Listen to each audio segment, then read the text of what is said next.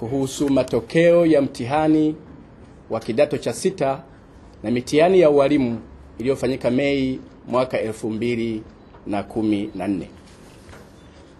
Baraza la Mitihani la Tanzania katika kikao chake cha 100 kilichofanyika tarehe 15 Julai 2014 liliidhinisha kutangazwa rasmi kwa matokeo ya mtihani wa kidato cha sita uliofanyika tarehe 5 hadi tarehe 25 Mei 2014.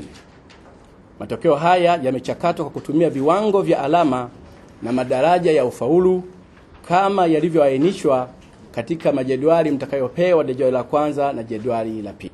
Hivyo kiwango cha juu cha ufaulu katika somo ni grade A ambapo kiwango cha chini cha ufaulu yani pasi katika somo ni grade D. Ufaulu katika grade A, B+, B na C utakuwa ni principal pass. Madaraja yanayoainishwa hapa yatakuwa ni madaraja manne atakayotunukiwa mtahiniwa. Matokeo ya mtihani yalikuwa kama ifuatavyo. Matokeo ya jumla kwa watahiniwa wote yanaonyesha kuwa watahiniwa 38,905 sawa na asilimia 95.98 ya watahiniwa waliofanya mtihani wa kidato cha sita wamefaulu.